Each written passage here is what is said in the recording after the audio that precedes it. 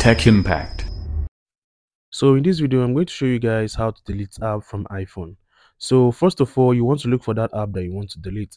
So for this tutorial, we're going to be using this app right here for this video. So what if I want to delete this app? How do I do? All I have to do now is long press on the app. You can see the drop down. And once I click on the remove app, a pop-up will ask me if I want to delete the app. I will say yes. And another pop-up will come up and telling me if I want to confirm deleting the app. Once I click on confirm, the app will be deleted.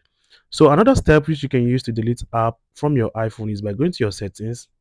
From your settings, you want to go to um, the general. So once you click on the general, so if you scroll up, you're going to see um, uh, an option which is iPhone storage. You might want to click on that.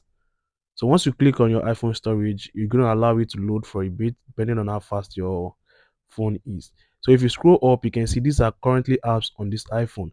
So the apps here might be different from the ones in your own. So just choose the app that you want to delete from this option. So I'm going to be using this app. Once I click on that app, you can see the delete sign there. If I click on it and this app will be automatically removed from my iPhone. So guys, thank you for watching. I hope this video was helpful.